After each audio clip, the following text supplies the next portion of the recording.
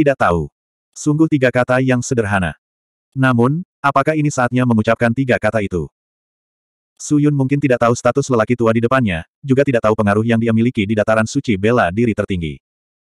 Untuk menerima sedikit bimbingannya, orang-orang di sini telah menghabiskan banyak energi. Bagaimana mungkin ada orang yang berani menyinggung orang ini? Setelah mendengarkan pelajaran selama 10 hari terakhir, setiap orang memiliki jawaban di hati mereka. Jika mereka tidak tahu, bukankah itu berarti mereka tidak mendengarkan sama sekali? Jika seorang siswa tidak mendengarkan pelajaran seorang guru, itu akan menjadi penghinaan besar dan tidak menghormati seorang guru. Dia benar-benar tidak tahu. Bukankah orang ini diam-diam belajar dariku? Menurutku orang ini hanyalah orang rendahan. Sulit baginya untuk menjadi orang hebat. Beberapa mata pria itu sudah dipenuhi dengan penghinaan, dan beberapa bahkan memalingkan pandangan mereka, seolah-olah melihat Suyun sekali lagi akan menghina mata mereka sendiri. Suzy dan yang lainnya menghela nafas lagi dan lagi, sementara Suzy sendiri menggelengkan kepalanya, dan berkata kepada Su Yun, Tuan telah mengatakannya dengan sangat jelas, saya masih ingat bahwa Tuan secara khusus mengatakannya dua kali, bagaimana mungkin Anda bahkan tidak mengetahui hal ini. Huh, sungguh memalukan bagi kebijaksanaan Tuan yang mendalam, Anda harus segera pergi. Dengan itu, Suzy melambaikan tangannya, menyuruh Su Yun pergi dengan cepat. Namun, yang mengejutkan semua orang, lelaki tua itu tidak merasa marah. Sebaliknya, Ekspresinya yang tenang mengungkapkan sedikit kedamaian, dia mengangguk pada Su Yun dan berkata, apakah kamu tidak mendengarkan ceramah saya? Kenapa kamu tidak tahu? Junior ini memang mendengarkan pelajaran senior. Dalam hal ini, junior ini juga telah mendengar beberapa wawasan senior, tapi aku juga tidak tahu kenapa aku tidak tahu. Su Yun menggelengkan kepalanya, saya merasa bahwa pikiran di hati saya berubah setiap saat. Roh, hati, roh, dan roh yang saya pahami semuanya berubah. Yang kedua sebelum dan yang kedua seperti langit dan bumi, beda sama sekali. Jadi, saya tidak punya jawaban baku di hati saya. Entahlah, jika senior ngotot bertanya, saya khawatir saya hanya bisa memberi tahu Anda. Semuanya bisa hati, semuanya bisa semangat, semua yang ada di dunia ini, semua yang kita pikirkan, bisa menjadi jawabannya. Kata Suyun, meskipun dia tidak tahu apa yang dia katakan, tapi itu tidak masalah, itulah yang dia pikirkan. Meskipun dia tidak tahu siapa lelaki tua di depannya itu, sepuluh hari pelajaran yang diajarkan lelaki tua itu membuatnya mengaguminya. Menghadapi seseorang yang dia hormati, dia tidak akan membohonginya. Apa yang dia bicarakan? Balasan Suyun menarik diskusi dari barisan belakang. Beberapa orang mencemooh dan mendengus, merasa bahwa Suyun benar-benar tidak pada tempatnya. Tapi di detik berikutnya, lelaki tua itu benar-benar tertawa. Hehehehe. Pria tua itu tersenyum ramah. Itu adalah senyum yang datang dari lubuk hatinya. Dia sepertinya sangat puas dengan jawaban Suyun. Melihat ekspresi seperti itu di wajah lelaki tua itu, semua orang benar-benar terpana.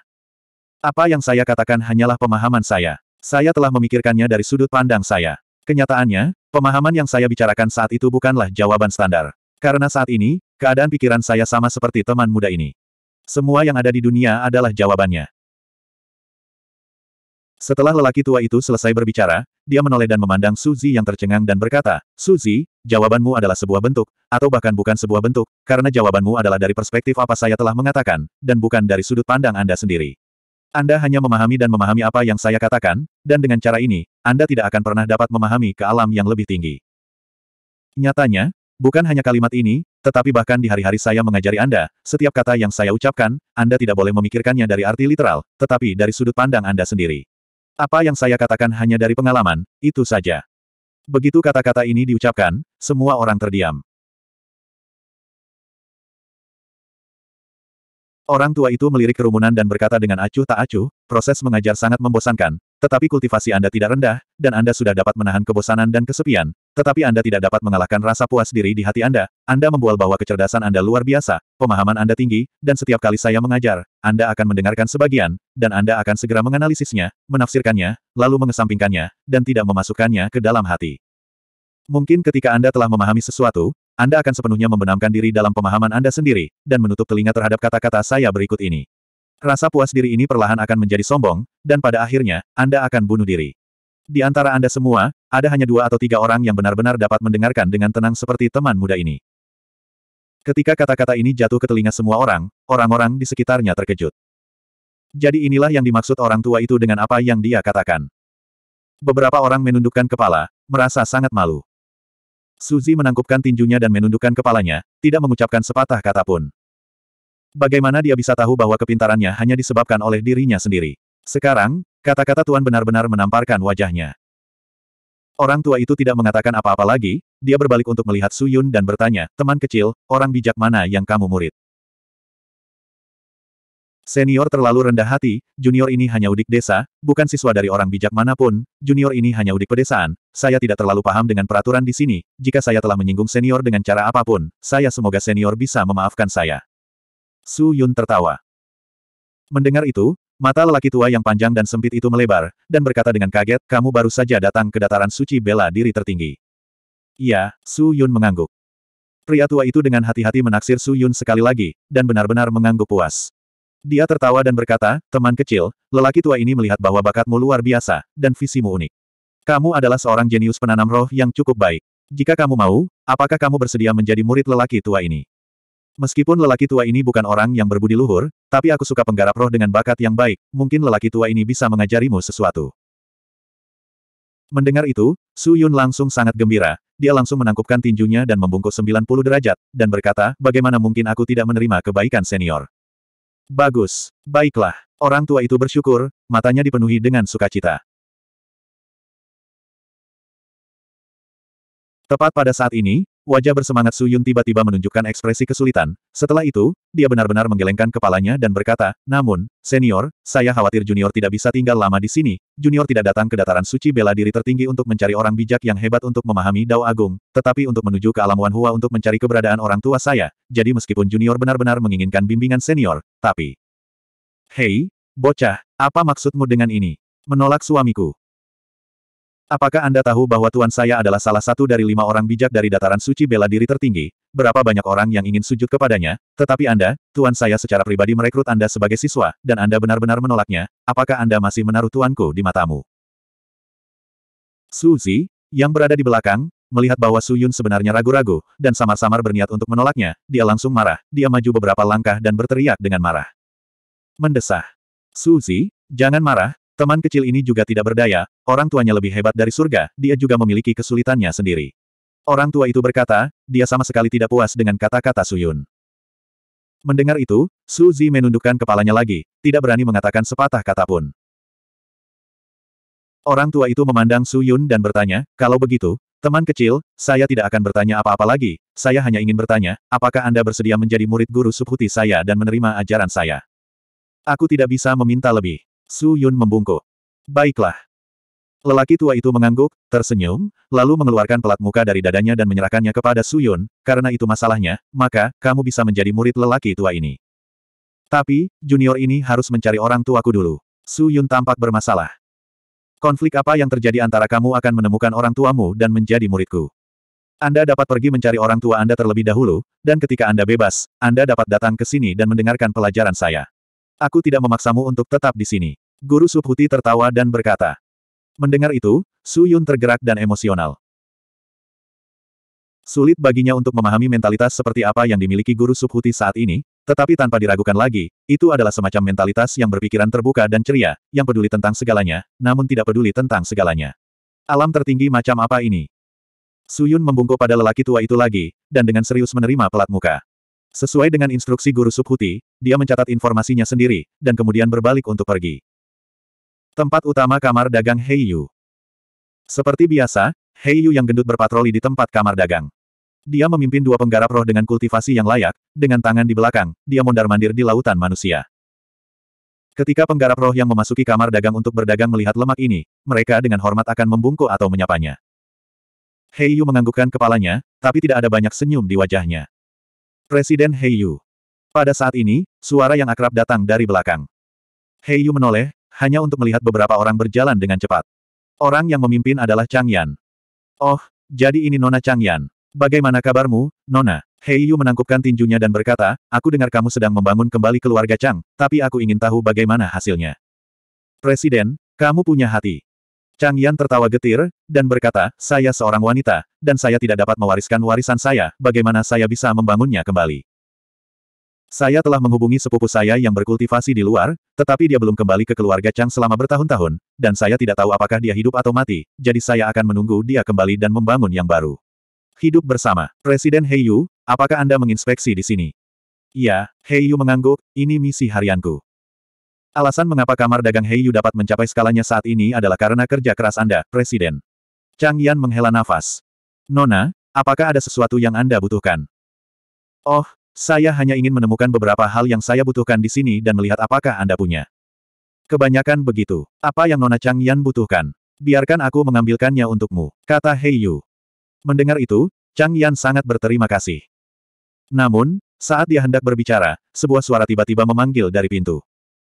Hei, apakah ada orang di sini yang mengenal Suyun? Apakah Anda tahu di mana dia? Cepat dan bawa dia keluar untuk menemuiku. Dengan mengatakan itu, aula menjadi sunyi. Ekspresi Chang Yan dan Hei Yu membeku. Siapa yang begitu berani memanggil nama pemimpin aliansi seratus pertemuan? Dan dengan nada sembrono. Dengan ketidakpuasan yang ekstrim, keduanya melihat ke arah sumber suara pada saat yang sama. 557. Seorang gadis mirip elf berdiri di depan pintu. Dia tidak terlihat terlalu tua, dan dia mengenakan gaun merah menyala dengan pola phoenix di atasnya. Sosoknya yang indah terbungkus sempurna oleh gaun itu, membuatnya terlihat sangat menggoda. Namun, yang menarik perhatian orang adalah ekornya yang besar dan berbulu yang bergoyang di belakang pantatnya yang gagah, serta dua telinga lucu yang menjuntai dari rambut panjangnya. Mata gadis itu berwarna keemasan, memberikan perasaan yang sangat memabukkan. Wajah kecilnya sangat indah dan menawan, dan kulitnya seputih salju. Di dahinya, bahkan ada pola emas kecil. Jika seseorang tidak melihat dengan teliti, akan sulit untuk melihat pola ini. Melihat gadis itu, Chang Yan dan Hei Yu saling memandang. Keduanya bisa melihat keraguan di mata masing-masing. Ayo kita lihat. Hei Yu berbisik kepada Chang Yan, lalu berjalan menuju wanita muda itu. Tatapan gadis itu menyapu sekitar. Ekor berbulu seputih salju terus bergoyang, membuat orang ingin memegangnya erat-erat dan bermain dengannya. Siapa wanita muda ini? Bolehkah saya tahu mengapa Anda mencari pemimpin aliansi Su? Hei Yu bertanya dengan ekspresi serius. Gadis itu memandangi lemak di depannya, meletakkan tangannya di pinggul, dan bertanya, apakah pemimpin aliansi Anda Suyun? Itu benar. Saya percaya semua orang di Bei yang tahu tentang itu. Lalu apakah pemimpin aliansimu dari benua bela diri langit? Gadis itu bertanya lagi. Mendengar itu, Hei Yu berpikir sejenak, tetapi dia tidak terburu-buru menjawab pertanyaan gadis itu, dan bertanya, siapa kamu? Siapa aku bukan urusanmu. Jika dia masih di sini, cepat keluarkan dia, atau bawa aku untuk menemukannya. Cepat, mata gadis itu dipenuhi dengan urgensi, kegembiraan dan antisipasi. Melihat itu, Hei Yu langsung tahu bahwa orang ini bukanlah musuh Suyun. Jika dia adalah musuh, mengapa dia mengungkapkan tatapan cemas dan penuh harap? Dia tidak bisa melihat sedikit pun permusuhan di mata gadis itu. Tolong ungkapkan identitas Anda, Nona. Jika Nona tidak mau mengungkapkan identitas Anda, saya khawatir Hei Yu tidak akan dapat menghubungi Tuan Su Yun untuk Anda. Hei Yu menangkupkan tinjunya dan berkata. Melihat si gendut begitu berhati-hati, gadis itu, Hu Qianmei, mau tak mau cemberut, dan sedikit tidak senang. Baiklah, baiklah. Kamu sangat gendut, kamu berhati-hati seperti rubah. Aku tidak tahu apa yang kamu takutkan, mungkinkah aku akan memakan orang dewasamu? Rubah.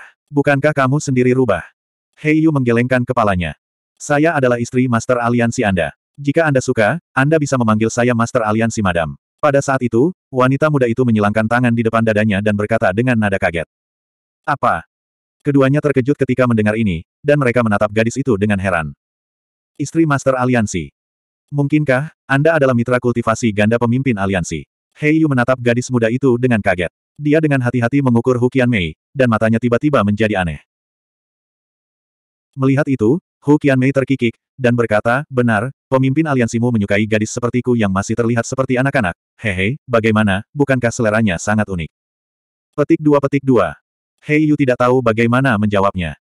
Nona muda, apakah kamu mengatakan yang sebenarnya? Meskipun saya sudah lama tidak mengenal Master Aliansi, saya belum pernah mendengar dia memiliki pendamping kultivasi ganda. Selain itu, jika dia memiliki pendamping kultivasi ganda, mengapa dia tidak mengikuti Master Aliansi? Saat ini, Chang Yan tiba-tiba datang dan bertanya dengan serius. Mendengar itu, sepasang mata emas Hukian Mei menoleh dan menatap Chang Yan. Tiba-tiba, dia mendekat dan berdiri di depan Chang Yan, menatap lurus ke arah wanita itu. Hukian Mei menaksirnya dari atas ke bawah, lalu mengitari Chang Yan, dan tertawa, payudaranya tidak besar, pantatnya tidak menonjol, dan dia tidak memiliki banyak bakat. Untuk wanita sepertimu, kamu bisa saja bermain dengan dia. Mendengar itu, Chang Yan sedikit marah, omong kosong apa yang kamu bicarakan. Tidak ada apa-apa. Hu Qianmei tertawa ringan, dan berkata, baiklah, berhenti berbelit-belit, cepat bawa aku menemui pemimpin aliansimu, aku sudah lama tidak bertemu dengannya, aku sangat merindukannya. Kamu adalah orang yang tidak dikenal, bagaimana kamu bisa dengan santai melihat pemimpin aliansi kita? Chang Yan tampaknya marah dengan kata-kata Hu Qianmei, dan segera mendengus dan menolak. Asal tidak diketahui. Hu Qianmei mengeluarkan setengah benda seperti batu giok dari sakunya dan menyerahkannya kepada Hei Yu, kalian bisa mengambil ini dan memberikannya kepada pemimpin aliansi. Hei Yu melihat benda itu, tapi tidak menerimanya. Faktanya, dia sudah lama memastikan bahwa gadis di depannya mengenal pemimpin aliansi, tetapi dia tidak dapat membawanya untuk menemuinya. Maaf, pemimpin aliansi kami tidak lagi berada di Beiyang. Sejauh yang saya tahu, dia telah memasuki medan pertempuran setan desolate, dan jika semuanya berjalan lancar, dia mungkin sudah memasuki dataran suci bela diri tertinggi. Kata Hei Yu. Mendengar itu, Hu Qianmei terkejut. Medan pertempuran setan desolate. Dataran suci bela diri tertinggi. Apa yang dia lakukan di sana? Aku tidak tahu. Hei Yu menggelengkan kepalanya. Alis Hu Qianmei yang lucu berkerut erat, dia membuka mulutnya, ingin mengatakan sesuatu, tetapi tidak tahu harus berkata apa, dan hanya bisa menundukkan kepalanya untuk berpikir.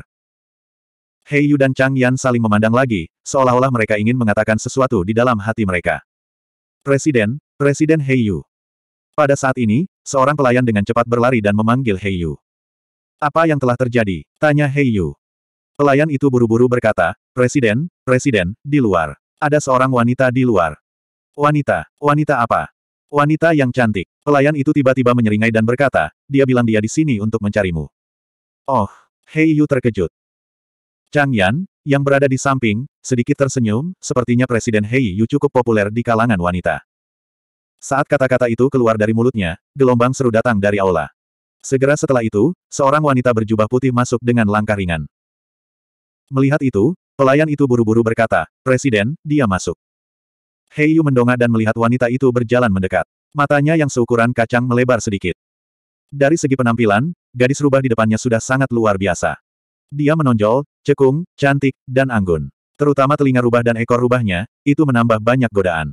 Namun, Orang yang berjalan saat ini bahkan lebih luar biasa. Penampilannya sangat elegan, seperti teratai hijau. Rambut panjangnya menutupi bahunya seperti air terjun hitam. Sosoknya tinggi dan ramping, dan temperamennya elegan. Dia seperti peri. Gadis rubah menoleh untuk melihat orang yang telah berjalan. Dia mendengus dan menyilangkan tangannya di depan dadanya. Oh, suster muda, apakah kamu baik-baik saja? Wanita berpakaian putih itu juga memperhatikan gadis muda bertelinga rubah dan berekor rubah, tetapi punggung yang terakhir menghadapnya, jadi dia tidak bisa melihat dengan jelas. Ketika gadis muda itu berbalik, wanita berpakaian putih itu mengkonfirmasi identitas orang lain. Dia dengan cepat berjalan, membungkuk dengan anggun, dan dengan lembut berkata, Salam, kakak bela diri senior. Ayo, ayo, jangan lakukan itu. Aku tidak menyukainya. Bibir kemerahan Hukian Mei sedikit melengkung, dia berjalan di depan Long Xianli, berputar di sekelilingnya, dan berkata sambil tersenyum, kamu belum mati, itu bagus. Mendengar itu, jejak emosi melintas melewati mata Long Xianli yang cerah dan dalam. Dia tidak pernah berpikir bahwa pada saat kritis ini, orang yang mempertaruhkan nyawanya untuk menyelamatkannya bukanlah sekte pedang abadi yang dia setia, tetapi orang yang selalu ingin membunuhnya, orang yang selalu ingin menghancurkannya. Sekte pedang abadi. Kontras ini membuat keadaan pikirannya sangat kacau. Setelah dibebaskan oleh Bai Yansan, Long Xianli tidak segera kembali ke Istana Kaisar. Dia tahu bahwa tidak ada gunanya terus meminta bantuan dari Istana Kaisar atau Sekte Pedang Abadi. Satu-satunya hal yang bisa dia lakukan adalah mengandalkan kekuatannya sendiri untuk memikirkan cara menyelamatkan Bai Yansan. Jika tidak, dia akan merasa bersalah di dalam hatinya, dan bahkan lebih kasihan lagi pada tetua Sen Hong yang telah meninggal. Namun, apa yang tidak diharapkan siapa pun adalah bahwa ketika dia masih dengan susah payah memikirkan bagaimana menghadapi Bai Yansan, sebuah berita mengejutkan datang dari lembah bunuh diri. Lembah bunuh diri dihancurkan, aliansi seratus pertemuan didirikan, dan pemimpin aliansi adalah Suyun. Ketika Long Xianli mendengar berita ini, dia benar-benar tercengang. Tidak peduli bagaimana dia memikirkannya, dia tidak akan pernah berpikir bahwa lembah bunuh diri akan berakhir seperti ini. Oleh karena itu, dia memutuskan untuk datang ke aliansi seratus pertemuan untuk melihat dan bertanya kepada Hei Yu yang sangat dekat dengan pemimpin aliansi. Jika memungkinkan, dia berharap untuk bertemu pemimpin aliansi ini yang tiba-tiba muncul, dan melihat apakah dia adalah Su Yun dari benua bela diri langit. Kamu tidak perlu mengkonfirmasi, pria itu adalah Su Yun dari benua langit bela diri. Hu Qianmei sepertinya sudah menebak niat Long Xianli datang ke sini, dan berkata sambil tersenyum. Hati Long Xianli bergetar, dan langsung bertanya, lalu di mana dia sekarang? Kedua orang ini mengatakan bahwa dia pergi ke dataran suci bela diri tertinggi. Hu Qianmei menghela nafas. Dataran suci bela diri tertinggi. Alis Long Xianli sedikit berkedut. Itu adalah tempat di mana pakar tertinggi berkumpul, itu adalah tanah suci yang luar biasa, penggarap roh biasa tidak memiliki kualifikasi untuk masuk. Saudari junior, meskipun kamu telah mengikuti sekte pedang abadi ke dunia bela diri tertinggi, kekuatanmu saat ini adalah terlalu lemah, sudah pasti tidak mungkin bagimu untuk pergi ke dataran suci bela diri tertinggi, kamu harus berkultivasi dengan benar, sedangkan untuk Suyun, hehe, lebih baik aku pergi mencarinya. Hu Qianmei tertawa. Long Xianli menundukkan kepalanya dan tidak mengatakan sepatah kata pun. Chang Yan, yang berada di samping, bingung saat mendengar ini. Melihat dua wanita di depannya yang benar-benar menghancurkan penampilannya, dia merasa sedikit tidak senang dan bertanya, bolehkah saya bertanya siapa wanita ini? Apa hubungannya dengan pemimpin aliansi saya? Bagaimana saya harus mengatakannya? Hu Qianmei menggaruk kepalanya, dan berkata, jika itu dia, dia juga harus dianggap sebagai simpanan pemimpin aliansimu, kan? Kakak senior, omong kosong apa yang kamu bicarakan? Wajah Adil Long Xianli langsung terbakar saat dia berkata dengan agak marah. Omong kosong. Hu Qianmei tertawa getir dan menggelengkan kepalanya, dasar bodoh, apakah kamu tidak tahu mengapa lembah bunuh diri dihancurkan kali ini? Mendengar itu, Long Xianli terkejut, kenapa? Ini semua karena kamu. Hu Qianmei menghela nafas. Karena aku, mata Long Xianli kehilangan fokus, mungkinkah Su Yun itu, dia? Su Yun tidak mungkin melakukannya untuk Bai Yanshan, yang sudah tidak ada hubungannya dengan dia. Alasan mengapa dia menghancurkan lembah bunuh diri pasti karena kamu. Saya kira itu satu-satunya kemungkinan. Hu Qianmei berkata dengan lembut. 558. Guru Subhuti, salah satu dari lima orang bijak dari dataran suci bela diri tertinggi. Posisinya di dataran suci bela diri tertinggi sangat luar biasa, dan tidak ada orang biasa yang bisa dibandingkan dengannya. Mengetahui bahwa lelaki tua di depannya memiliki identitas yang luar biasa, Su Yun secara alami terkejut dan bahagia. Di akhir kelas, para siswa kembali ke lahan budidaya mereka sendiri untuk berkultivasi. Namun, Su Yun tidak terburu-buru untuk pergi, dan malah mengobrol dengan guru Subhuti. Tidak ada seorang pun di sekitar pohon Bodhi, hanya mereka berdua yang duduk saling berhadapan di bawah pohon. Su Yun melihat sekeliling, lalu berkata, Guru, apakah Anda tahu di mana penjaga gerbang, Wan Hua Rilem, sekarang? Meskipun dataran suci bela diri tertinggi tidak bisa dibandingkan dengan Bei Yang, itu juga tidak kecil. Itu selalu menghadap ke barat, tapi Su Yun tidak tahu lokasi pasti dari sisi barat. Sebagai salah satu dari lima orang bijak, Guru Subhuti pasti mengetahuinya, jadi menanyakannya adalah yang terbaik. Master Subhuti mengangkat tangannya dengan ringan, dan hembusan angin bertiup, menyebabkan pohon bodi bergemerisik. Setelah itu, sehelai daun hijau jatuh dari langit dan dengan lembut mendarat di telapak tangan Guru Subhuti. Guru Subhuti mengangkat tangannya yang lain dan dengan lembut menutupi daun itu, lalu membukanya dan menyerahkannya kepada Suyun. Bawalah, itu akan membawamu ke penjaga gerbang, alam Wan Hua. Master Subhuti terkekeh dan berkata, saya telah berinteraksi dengan penjaga gerbang, alam Wan Hua, sebelumnya, mereka semua adalah orang-orang dengan kebijaksanaan mendalam dan kultivasi tinggi, mereka tidak akan membiarkan orang luar memasuki alam Wan Hua dengan mudah, tetapi Anda adalah murid saya, meskipun saya tidak memahami Anda dengan baik, saya masih tahu sedikit tentang Anda, saya pikir sangat mungkin bagi Anda untuk memasuki alam Wan Hua, dan ketika Anda mencapai gerbang, alam Wan Hua, Anda akan menyerahkan papan nama yang saya berikan kepada penjaga gerbang.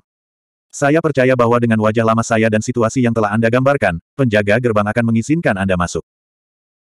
Mendengar itu, Su Yun sangat gembira, dia segera menangkupkan tinjunya ke arah Master Subhuti dan membungkuk, Guru, terima kasih banyak kali ini. Sama-sama, ini hanya masalah kecil. Guru Subhuti tertawa. Mereka berdua mengobrol lebih lama.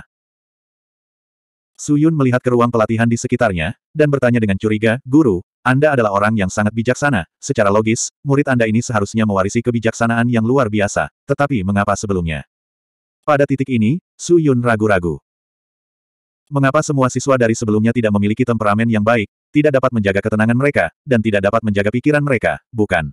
Guru Subhuti berkata sambil tersenyum. Suyun ragu-ragu, tapi masih menganggukkan kepalanya.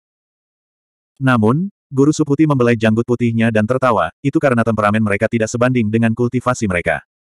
Tidak bisa dibandingkan. Itu benar, Suyun, di matamu, kultivasinya sangat kuat, tetapi kenyataannya, kultivasinya hanyalah kultivasi palsu. Kultivasi palsu. Mungkinkah semua yang saya katakan itu palsu? Iya, Guru Subhuti menganggukkan kepalanya, dan berkata dengan acuh tak acuh, sebenarnya, Su Yun, di dalam kultivasi yang Anda miliki, masih ada bagian yang palsu. Mendengar itu, Su Yun langsung mengerti, Guru, apa yang Anda maksud, apakah kultivasi diperoleh dari menyerap koin kultivasi? Itu benar, itulah yang aku bicarakan.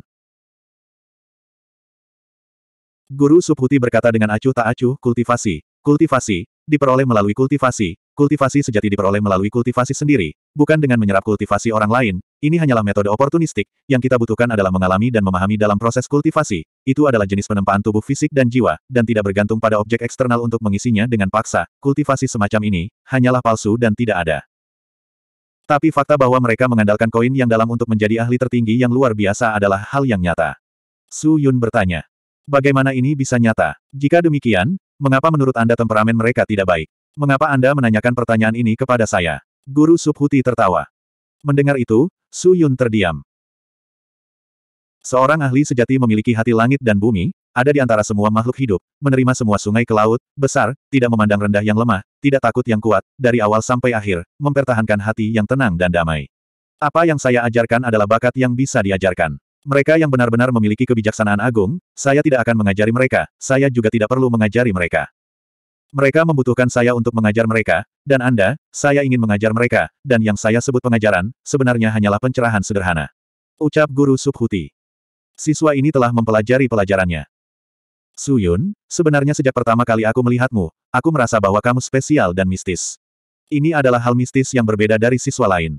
Mungkin kamu tidak menyadarinya selama bertahun-tahun, tetapi aku telah. Master Subhuti berkata sambil menatap Su Yun dengan serius. Gaib, Su Yun bingung, guru, apa maksudmu? Master Subhuti menggelengkan kepalanya dengan ringan, tetapi tersenyum tanpa mengucapkan sepatah kata pun. Su Yun bahkan lebih curiga. Setelah mengobrol dengan Master Subhuti selama tiga hari penuh, Su Yun akhirnya berpamitan. Perjalanan ini benar-benar sangat menguntungkannya, meskipun kultivasinya tidak meningkat sama sekali, tetapi kondisi mentalnya mengalami peningkatan yang signifikan. Dataran suci bela diri tertinggi memang luar biasa, tetapi ketika dia pertama kali menginjakan kaki di tempat ini, dia telah bertemu dengan seorang resi agung seperti Master Subhuti, dia tidak tahu seperti apa resi agung lainnya. Hati Suyun dipenuhi dengan antisipasi. Jika dia tidak terburu-buru untuk menemukan orang tuanya, dia benar-benar ingin mengunjungi setiap orang bijak di dataran suci bela diri tertinggi. Mengambil daun bodi yang diberikan oleh Master Subhuti kepadanya, Suyun mengaktifkan ki yang dalam dan mengaktifkan daun tersebut. Dalam sekejap, daun itu melepaskan gelombang cahaya hijau tua, sangat menyilaukan, dan kemudian, daun itu tiba-tiba meninggalkan telapak tangan Su Yun dan terbang ke depan. Su Yun segera mengikuti daun itu dan berlari ke depan.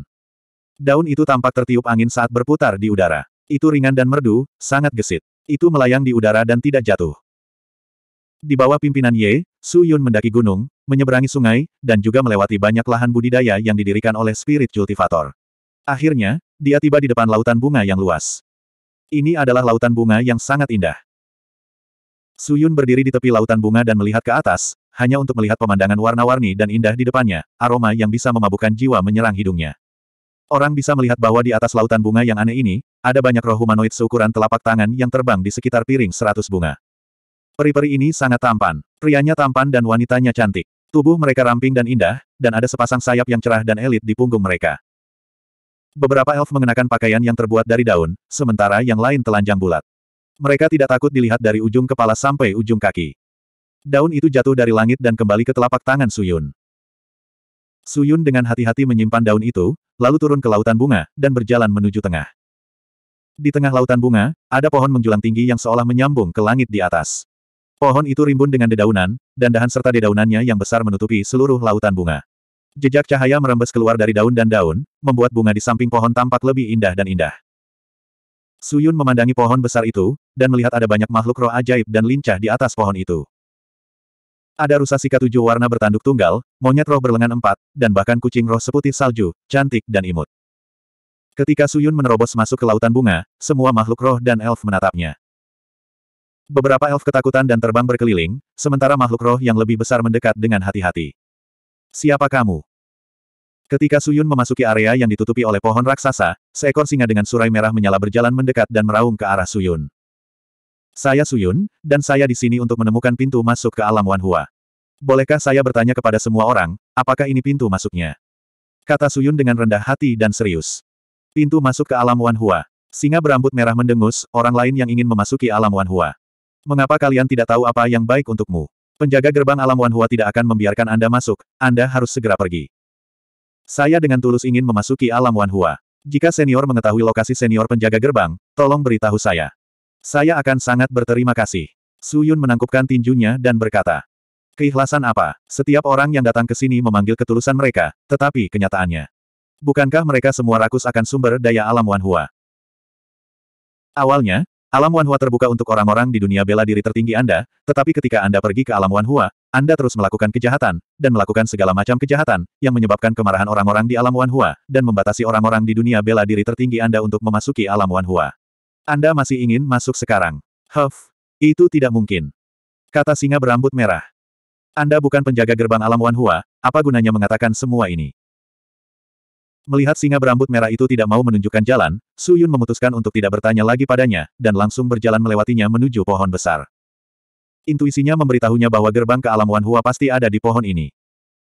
Singa berambut merah tidak menghentikannya, dan makhluk roh lainnya melakukan hal yang sama. Mereka hanya mengepung Su Yun, menatapnya dengan rasa ingin tahu, dan mengikuti jejak Su Yun. Suyun melihat sekeliling dengan hati-hati, dan hatinya menjadi sedikit waspada. Namun, saat dia hendak mendekati pohon besar itu, dua aura aneh dan misterius turun dari langit, menutupi kepalanya. Jantung Suyun menegang, dan dia mundur beberapa langkah. Sinar cahaya melintas di depannya, diikuti oleh suara yang melayang ke telinganya. Orang-orang serakah dari dunia bela diri tertinggi, cepat pergi, jangan mendekat, jika tidak, aku akan memastikan bahwa kamu tidak akan dapat kembali. Suaranya sedingin es, penuh dengan niat membunuh dan permusuhan. Siapa yang tahu berapa banyak lalat menyebalkan ini yang datang ke sini setiap hari? Jangan bilang kalian belum belajar. Apakah menurut Anda kami akan membiarkan Anda memasuki alam Wan Hua dengan begitu mudah? Orang yang berbicara adalah seorang wanita. Suaranya sangat arogan, penuh dengan penghinaan dan penghinaan. Mendengar itu, Su Yun mengerutkan kening, dia sedikit tidak senang, tetapi untuk segera menuju ke alam Wan Hua, tidak peduli betapa tidak senangnya dia, dia hanya bisa menahannya. Suyun mengeluarkan papan nama yang diberikan kepadanya oleh Master Subhuti, lalu memegangnya dengan kedua tangan dan berkata dengan tenang, apakah dua senior dari alam Wanhua? Saya Suyun, murid salah satu dari lima orang bijak, Guru Subhuti. Saya memiliki masalah mendesak untuk diperhatikan di alam Wanhua, saya harap kedua senior dapat mengakomodasi saya dan mengizinkan saya untuk melintasi alam. Inilah yang guru minta agar saya berikan kepada kalian berdua. Dengan itu, dia menyerahkan papan nama. 559. Oh, Guru Subhuti. Pria itu tertegun. Cahaya itu berangsur-angsur menghilang, dan kemudian seorang pria dan wanita muncul di dalam cahaya itu. Keduanya mengenakan jubah hijau zamrud. Pria itu tampan dan wanita itu cantik dan anggun. Kedua temperamen mereka sangat baik, memberikan perasaan yang sangat ramah, serta rasa keanggunan dan keunggulan yang tak terlukiskan. Namun, mereka berdua masih menatap Suyun dengan sedikit kewaspadaan di mata mereka. Dapat dikatakan bahwa ada rasa jijik yang tidak dapat disembunyikan di kedalaman mata mereka. Su Yun mengerti dari mana rasa jijik mereka berasal. Tampaknya orang-orang dari Ultimate Martial World telah sepenuhnya ditolak oleh alam Wan Hua selama ini. Nama pria itu adalah Mu Gui, dan nama wanita itu adalah Mu Ying. Mereka berdua telah menjaga tempat ini selama 30 tahun, dan ketika alam Wan Hua mulai membatasi orang-orang di dunia bela diri tertinggi untuk masuk, mereka dikirim ke sini. Mu Gui menerima papan nama dari Su Yun dan meletakkan tangannya di atasnya. Dalam sekejap, papan nama itu mengeluarkan lingkaran cahaya hijau zamrud. Dia tahu bahwa papan nama yang diberikan kepadanya oleh guru Subhuti pastilah sebuah alat ajaib, tetapi dia tidak tahu apa efeknya. Cahaya beriak keluar dalam lingkaran. Dengan sangat cepat, cahaya menghilang, dan suara tua dan baik hati keluar dari papan nama.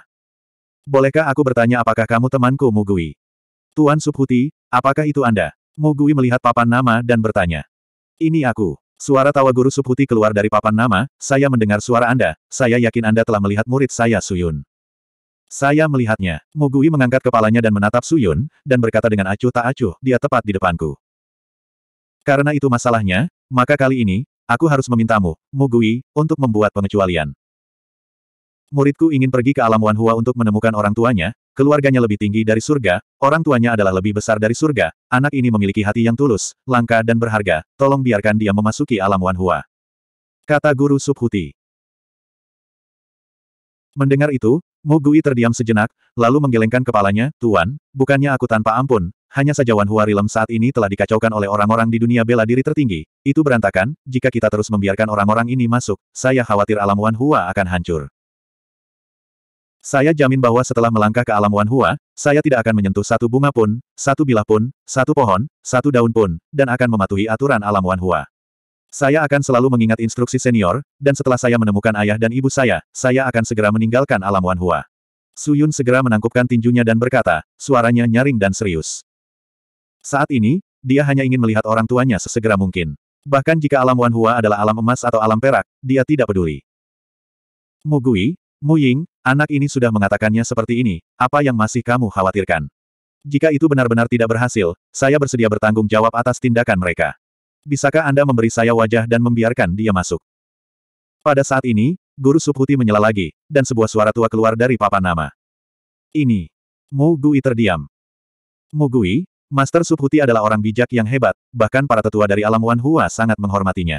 Jarang dia berbicara hari ini, jadi tidak baik bagi kita untuk menolaknya. Melihat Mugui ragu-ragu, Mu Ying angkat bicara. Mugui menganggukkan kepalanya, mengangkat kepalanya lagi, menatap Su Yun, dan mengukurnya untuk waktu yang lama, lalu berkata, karena Tuan telah berbicara, jika aku menolaknya, itu tidak sopan untukmu. Meskipun alam Wan Hua telah membatasi orang-orang di dunia bela diri tertinggi untuk masuk, belum mencapai titik menolak mereka. Kalau begitu Subhuti akan berterima kasih kepada kalian berdua atas nama muridku.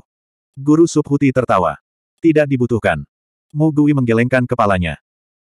Mendengar itu, Su Yun sangat gembira, dia langsung menangkupkan tinjunya ke arah dua orang di depannya, terima kasih dua, terima kasih guru. Ingat apa yang kamu katakan sebelumnya. Begitu kamu memasuki alam Wan Hua, kamu harus mematuhi peraturan di sana. Jangan kehilangan martabatmu sebagai seorang guru. Guru Subhuti menginstruksikan, dan kemudian, cahaya di papan nama berangsur-angsur menghilang. Mugui menyerahkan papan nama itu kepada Suyun, yang menerimanya dengan hati-hati, lalu berbalik dan berjalan menuju pohon yang menjulang tinggi. Ikuti kami. Wanita bernama Muying menyilangkan tangan di dadanya dan berkata dengan acuh tak acuh kepada Suyun, lalu mengikuti Mugui dan melompat, membubung ke langit. Suyun dengan cemas mengikuti di belakang dan terbang. Pohon besar itu sangat besar, dan dari bawah, orang bisa melihat batang pohon yang sangat tebal, sedangkan puncaknya bahkan lebih dari dunia yang berbeda. Saat mereka terus naik, semakin banyak adegan muncul di depan mata mereka. Mereka dapat melihat bahwa pohon itu penuh sesak dengan spirit beast, yang besar tingginya 3-4 meter, dan mereka meringkuk di dahan yang tebal, beristirahat dengan mata tertutup, sedangkan yang kecil hanya satu inci panjangnya, berdiri. Di dahan, menatap Suyun dengan rasa ingin tahu. Bintik-bintik sinar matahari merembes keluar dari dedaunan lebat dan bersinar ke bawah, menjadikan tempat itu indah. Ada juga sejumlah besar buah merah dan ungu yang mengambang di udara. Mereka tidak tumbuh di atas daun, tetapi melayang di sana seolah-olah mereka adalah benda tanpa pemilik. Banyak spirit beast terlihat dengan santai mengambil buah dan memakannya dengan sepenuh hati. Pemandangan di sekitarnya sangat harmonis, membuat orang tidak bisa menahan nafas dalam hati. Sangat cepat, Mu Gui dan Mu Ying, yang memimpin jalan, melambat. Suyun mengangkat kepalanya untuk melihat, dan hanya dengan pandangan sekilas, dia terkejut. Cabang yang tebal, panjang, dan besar muncul di atas. Cabang ini lebarnya hampir 10 meter, dan panjangnya bahkan lebih sulit untuk dihitung. Itu langsung menjulurkan cabang dan daun yang subur, tumbuh keluar. Pohon ini misterius, dan cabang terbesarnya mungkin yang ini. Di atas pohon terdapat bangunan-bangunan yang tersebar di mana-mana. Itu seperti sebuah desa, dan ada banyak elf pendek berjalan mondar-mandir di desa. Di tengah desa ada pintu kayu setinggi 3 meter. Pintu kayu itu terbungkus tanaman merambat, dan pintunya tertutup rapat. Bintik-bintik cahaya merembes keluar dari celah-celah pintu. Suyun memandangi pintu kayu itu, dan merasa bahwa cahaya yang merembes keluar dari celah itu sangat misterius. Tempat ini seperti surga, segalanya tampak begitu harmonis dan indah. Daun hijau, bunga berwarna-warni, buah-buahan segar, elf. Titik. Tuan Mugui, Guru Muying. Ketika para elf melihat pria dan wanita itu terbang, mereka semua berlari keluar dan berteriak kegirangan. Wajah tegang Mugui dan Mu Ying akhirnya menunjukkan senyum yang baik dan ramah. Mereka terbang dan berdiri bersama para elf. Mereka menundukkan kepala dan tersenyum ketika mereka mengatakan sesuatu kepada mereka. Kedua wajah mereka bersinar dengan cahaya, membuat orang merasa sangat dekat dengan mereka. Melihat itu, Su Yun mau tidak mau berhenti, dia berdiri di udara dan menyaksikan pemandangan itu dari jauh. Dia masih ingat bahwa Guru Subhuti pernah berkata bahwa kedua orang ini adalah orang yang sangat bijaksana. Meskipun mereka berdua tidak mengatakan apa pun yang kaya akan filosofi, perasaan yang mereka keluarkan saat ini seperti orang bijak. Perasaan kesempurnaan dan misteri yang tak terlukiskan itu sungguh tak terlupakan. Mereka berdua berbicara dengan para elf sebentar, lalu menoleh dan berkata kepada Su Yun, kemarilah, kami akan membukakan pintu ke alam Wan Hua untukmu. Saya harap setelah kamu memasuki alam Wan Hua, kamu akan melakukannya. Ingat apa yang kamu katakan sebelumnya, patuhi semua yang ada di alam Wan Hua, dan perlakukan tempat itu sebagai rumahmu sendiri. Lagi pula, itu rumah kita. Mu Ying mengikuti. Mendengar itu, ekspresi Su Yun sangat serius, dia menangkupkan tinjunya dan membungkuk pada mereka berdua, aku pasti akan mengingat ini. Mu Gui dan Mu Ying mengangguk ringan. Setelah itu, keduanya ditemani para elf berjalan menuju pintu kayu. Keduanya berdiri di kiri dan kanan, masing-masing mengulurkan tangan dan menekannya ke pintu. Mereka memejamkan mata dan mulai melantunkan mantra, menyebabkan sejumlah besar cahaya menyilaukan muncul di telapak tangan mereka, diikuti dengan suara weng-weng yang berdesir di udara. Sangat cepat. Menabrak. Pintu perlahan terbuka, dan cahaya menyilaukan keluar dari dalam. Gerbang alam Wan Hua. Setelah memasuki alam Wan Hua, dia akan dapat menemukan orang tuanya begitu dia pergi ke Gunung Linglong. Suyun sangat bersemangat, matanya dipenuhi dengan hasrat yang tidak dapat disembunyikan, dia siap untuk bergerak, dan tubuhnya tanpa sadar terbang menuju pintu. Sudah berapa tahun? Sudah berapa hari? Sudah berapa tahun? Meskipun hari-hari di keluarga Su tidak tertahankan baginya, apa pun yang terjadi, dia tidak akan pernah lupa bahwa dia adalah putra dari Su Sentian dan Sen Suexue, dan namanya adalah Suyun. Ayah, ibu, anakmu ada di sini. Suyun menatap pintu yang menyilaukan dan bergumam. Secepatnya. Segera, mereka akan bertemu lagi. Jagoan. Pada saat ini, panah merah tiba-tiba melesat keluar dari dedaunan hutan yang lebat, langsung menuju ke arah mereka. Panah tajam itu terbang dengan kecepatan yang sangat cepat, dan hampir semua makhluk di sekitarnya tidak punya waktu untuk bereaksi. Suyun sedang memikirkan orang tuanya, dan tidak menyadarinya tepat waktu. Ketika dia merasakan panah terbang ke arahnya, panah itu sudah mendekati Mu Ying yang sedang membuka pintu. Keduanya begitu fokus untuk membuka pintu sehingga mereka tidak menyadari panah tajam di belakang mereka. Mata Suyun melebar, dan dia dengan cemas meraung, hati-hati. Apa? Mugui dan Muying terkejut, mereka menoleh, tapi anak panah itu sudah menyerang mereka. Puff! Suara yang menusuk telinga keluar. Panah merah darah yang sangat tajam menembus bahu Muying, memakukannya ke pintu kayu di belakangnya. Ah! Muying menjerit kesakitan. Siapa ini? Siapa orang yang menikamku dari belakang? Siapa ini? Mata Mugui memuntahkan api, dia memelototi sekelilingnya dan berteriak keras. Dedaunan lebat di sekitarnya tiba-tiba terpotong oleh kisetan merah darah dalam jumlah besar. Makhluk yang tak terhitung jumlahnya tidak punya waktu untuk menghindari ki iblis yang menakutkan dan langsung dipotong-potong. Setelah itu, sejumlah besar sosok turun dari langit dan bergegas menuju mereka. Penjaga gerbang Wan Hua Rilem, Huff, saat itu, Anda dan yang lainnya tidak mengizinkan kami memasuki alam Wan Hua. Hari ini, saya ingin melihat apakah Anda masih berani tidak mengizinkan kami memasuki alam Wan Hua. Suara dingin melayang keluar, dan kemudian, sosok tinggi dan kurus terbang. Aura di sekitar sosok-sosok ini sangat dingin, dan mereka diliputi oleh aura kejam yang mencengangkan dan menakutkan. Mereka seperti setan dari jurang. Ki Iblis. Hati Suyun menegang, dia menatap keberadaan yang baru saja muncul, dan hatinya yang rileks kembali tegang. 560. Dalam sekejap mata, ada lebih dari 30 angka. Melihat dari dekat, mereka semua adalah penggarap iblis, beberapa dari mereka mengenakan baju besi, beberapa dari mereka mengenakan jubah berbulu, semuanya memiliki pakaian yang berbeda, tetapi semuanya memiliki ki yang sangat menakutkan, masing-masing dari mereka memiliki akultivasi guru roh langit, mereka berbentuk cincin, membungkus seluruh desa dengan erat, ki iblis yang memenuhi langit mewarnai pohon besar dengan cara yang sangat aneh. Bunganya tidak lagi cerah, dan daun hijaunya tidak lagi cerah. Cahaya berangsur-angsur memudar, dan semua vitalitas tampaknya telah berubah menjadi kehampaan saat ini. Penghuni setan. Begitu banyak penghuni setan. Mengapa begitu banyak penghuni iblis muncul tiba-tiba? Su Yun baru tersadar setelah beberapa lama. Melihat Mu Ying pucat yang bahunya tertembus, dia tahu bahwa situasi hari ini tidak sebaik yang dia bayangkan. Kamu, apakah kamu penghuni iblis yang datang beberapa waktu lalu? Mu Gui mengeluarkan panah darah, mendukung Mu Ying, menatap penggarap iblis di sekitarnya dan bertanya dengan marah. Sepertinya kamu belum melupakan kami. Lumayan, lumayan. Kamu masih punya ingatan. Ini bagus juga. Kita tidak perlu memperkenalkan diri. Demon Dweller wanita yang sedikit montok terbang mendekat. Dia memandang Mugui dengan sembrono dan berkata dengan nada mengejek. Kamu ingin memasuki alam Wan Hua. Mugui mengatupkan giginya dan bertanya. Karena kamu tahu, maka cepat buka pintu ke alam Wan Hua. Kalau tidak, kita harus membuka pintunya sendiri. Penghuni iblis laki-laki dengan kepang dan tanduk merah seukuran jari di kepalanya berkata dengan dingin. Terakhir kali kami berdua datang untuk meminta masuk ke alam Wan Hua, kamu menolak, dan pada akhirnya, kami bertarung dan dikalahkan olehmu. Saya akui bahwa kultivasi kami tidak sebaik kalian berdua, tapi sekarang, ada 30 ahli penggarap iblis di sini, aku ingin melihat kemampuan lain apa yang kalian berdua miliki untuk melawan kami. Penggarap iblis perempuan tertawa, wajahnya penuh kebanggaan. Ketika Mugui mendengar ini, dia langsung menggertakkan giginya. Mu Ying menggelengkan kepalanya dengan ringan, dan berkata, penggarap setan adalah penggarap setan, serakah dan brutal, tidak tahu apa yang baik untuk mereka. Terakhir kali, kami menyelamatkan hidup mereka dan membiarkan mereka pergi, tetapi kami tidak pernah berpikir bahwa mereka benar-benar akan membalas kebaikan dengan permusuhan. Jika kami tahu bahwa hari ini akan terjadi, kami tidak akan menunjukkan belas kasihan saat itu, dan akan langsung membunuh kalian semua. Apa? Apakah Anda menyesalinya? Penggarap iblis perempuan tertawa. Saya menyesal, tapi apa yang bisa saya lakukan? Apakah menurut Anda hanya karena Anda memiliki lebih banyak orang, kami berdua akan takut pada Anda? Mu Gui mendengus. Dari kata-katamu, sepertinya kamu tidak akan dengan patuh membuka pintu ke alam Wan Hua. Penggarap iblis laki-laki bertanduk bertanya. Kami lebih suka membiarkan orang itu dari dunia bela diri tertinggi memasuki alam Wan Hua daripada membiarkanmu penggarap iblis masuk. Mu Gui berkata dengan sungguh-sungguh. Karena itu masalahnya, jangan salahkan kami karena tidak sopan. The Demonic Cultivator tampaknya telah kehilangan kesabarannya. Dia mendengus dan melambaikan tangannya. Pada saat itu, semua penggarap iblis di sekitarnya bergegas menuju Mu Gui dan Mu Ying dengan sekuat tenaga. Ki iblis berkumpul di udara untuk membentuk mulut besar dan menyeramkan, yang dengan kejam dan kejam menggigit mereka berdua. Aura itu begitu kuat hingga mencekik. Melihat itu, Mu Gui dan Mu Ying segera menggunakan semua teknik mereka dan menyerang ke arah langit. Keduanya merilis puluhan ribu gambar palem hijau zamrud, aura mereka meledak, mereka sebenarnya tidak sedikit pun lebih lemah dari penggarap iblis. Sebagai penjaga gerbang alam Wan Hua, keduanya secara alami tidak lemah.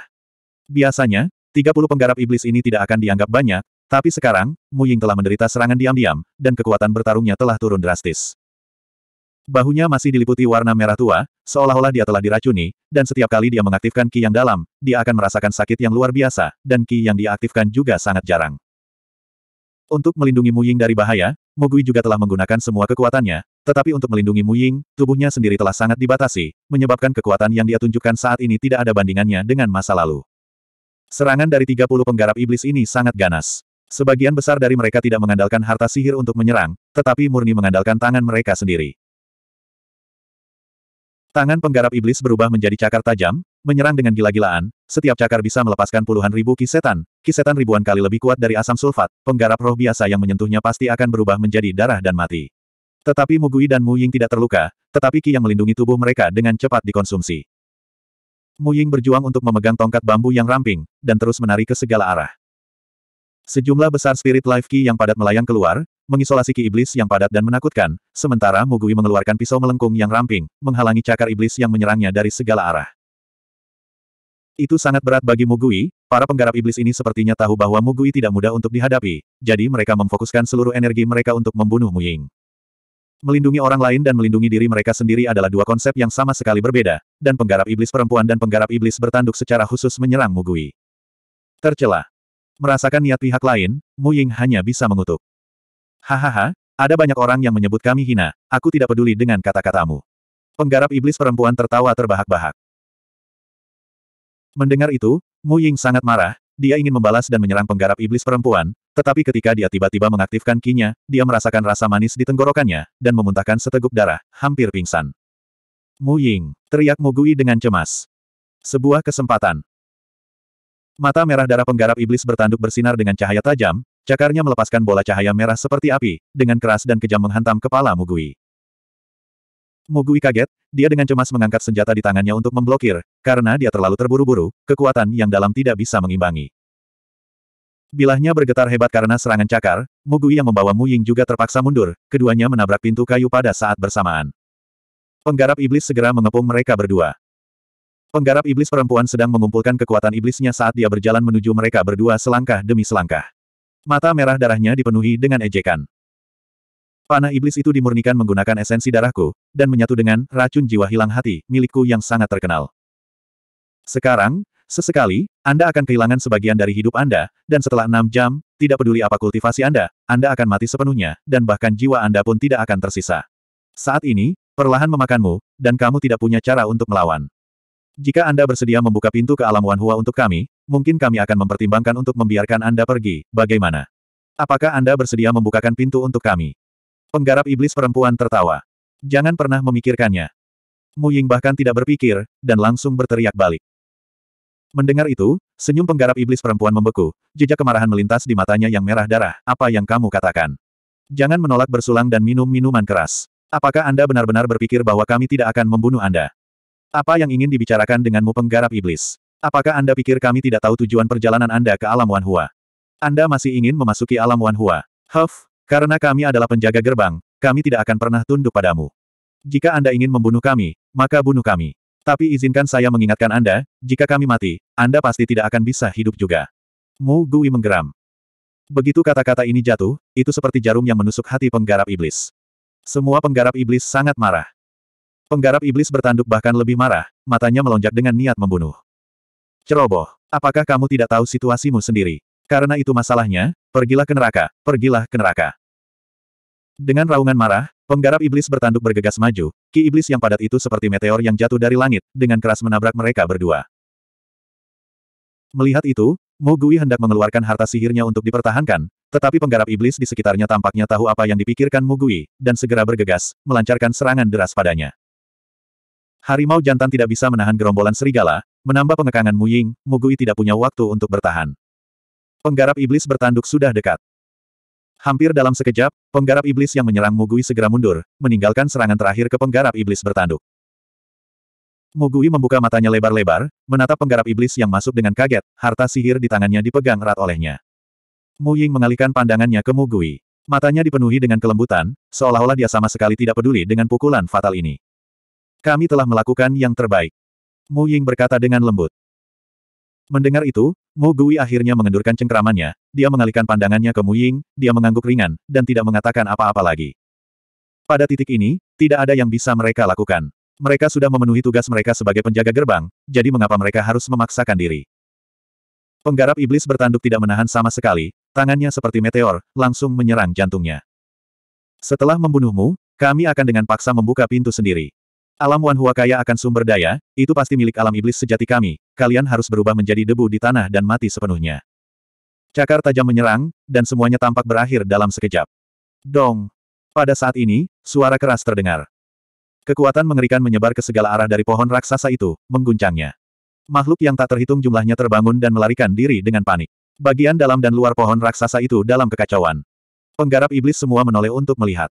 Namun, apa yang mereka lihat bukanlah apa yang mereka harapkan. Hati Mugui tidak tertusuk oleh cakar penggarap iblis bertanduk, melainkan tinju besar menghancurkan penggarap iblis bertanduk dari cabang, dengan keras menghancurkannya ke tanah. Apa? Semua penggarap iblis tertegun. Raksasa tulang iblis yang sangat besar tanpa sadar telah muncul di samping Mu Gui dan Mu Ying. Mata raksasa itu kejam, mendominasi, dan ganas saat menatap ke arah Devil Cultivator. Itu menabrak penggarap iblis bertanduk dengan tinjunya, tetapi itu tidak mengakhiri serangannya. Sebaliknya, ia menarik tinjunya, mengangkat kakinya, dan dengan keras menginjak penggarap iblis bertanduk. Dong! Namun suara keras lainnya terdengar. Pohon raksasa itu bergetar lagi. Apa ini? Penggarap iblis perempuan bertanya dengan kaget. Iblis Ki, jenis Ki iblis yang berbeda telah muncul. Penggarap iblis lainnya berteriak.